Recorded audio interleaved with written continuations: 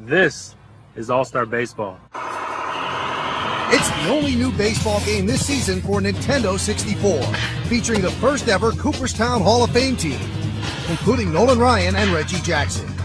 Four new Major League ballparks and an all new batting practice mode to hone your slugging skills.